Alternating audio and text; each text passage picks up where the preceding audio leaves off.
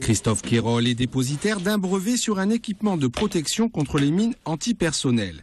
Au moment où j'approche le pied d'une pièce métallique, tac, tout droit sorti de l'incubateur d'entreprise de l'école des mines d'Alès, il a tout logiquement choisi de s'implanter à Innovales. Cet incubateur m'a permis de me former à tout un tas de choses que je ne connaissais pas, mais également a mis à ma disposition des laboratoires de recherche.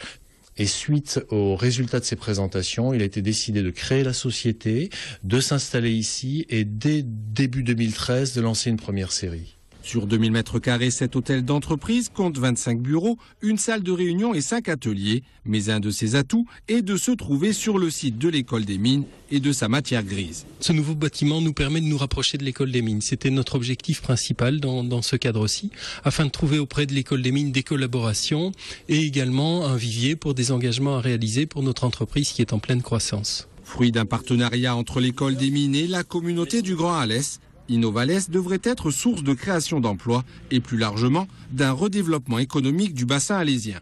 On a vu pour Richard Gros, les grosses entreprises n'ont plus le, potentiel de clientélisme suffisant pour vivre. Donc aujourd'hui, on se bat, nous ici, pour avoir des, des, petites PME de 5, 10, 15, 20, 30, 40, 50 salariés. Et donc c'est un élément majeur qui nous permet de maintenir sur l'aise encore une fois les capacités intellectuelles que nous avons et de leur offrir la possibilité d'avoir un outil de production adapté à leur, à leur idée. Pour l'heure, quatre sociétés ont intégré ce pôle qui peut en compter 25. Coût de l'opération 2 millions et 140 000 euros.